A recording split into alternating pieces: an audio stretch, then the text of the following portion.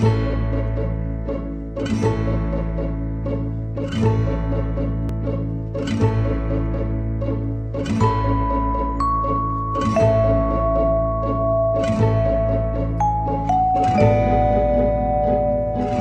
there folks, Mickey Akhter here presenting my new app Green Driver. This was created for the Ford OpenXC Fuel Efficiency Challenge.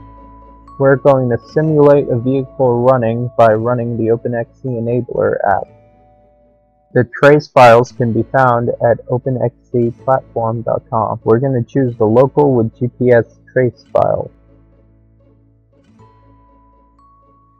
Once it's running, we can start the Green Driver app.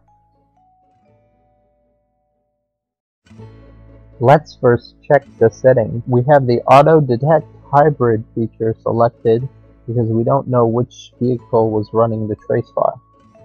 There's text-to-speech alerts as well as other things like uh, if the car is automatic or not.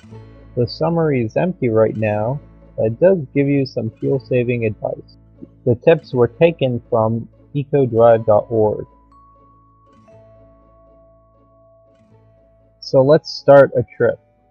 Yellow lines represents warnings, and as soon as it goes red, it will alert you and speak it out instead of just toasting it to the screen.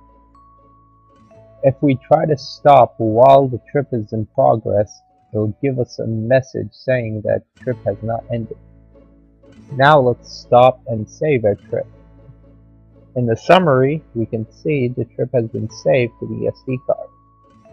When viewing your trip, you can see markers have been placed where the alerts were generated. Uh, this will help you evaluate your trip. Links to everything are in the description below. Leave your feedbacks in the comments and please like the video. Have a safe trip.